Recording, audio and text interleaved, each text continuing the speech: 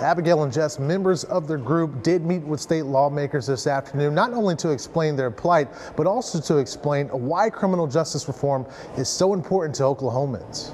We're here because those most in need of relief, people most directly impacted by our criminal justice system, cannot be. They say they're tired of waiting. In putting off criminal justice reform until the end of session, so many data driven policies were left on the table. Members of the ACLU of Oklahoma standing with other criminal justice reform groups with a message for lawmakers. They say Oklahoma has been on the right path the past few years with reform efforts, but more needs to be done. There are children who need their parents at home. We need to look at sentencing. We need to look at um, the juries being able to say it's okay for a mom who has a baby at home or is pregnant to be able to go home to her child. We cannot move into the top 10 in anything until this problem is addressed.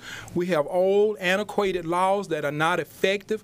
We have a thought process that is not effective. Tonight, the group has their eyes on a few bills they hope can make it to a committee before time runs out this session. In Oklahoma City, Paris Jones, KOCO 5 News.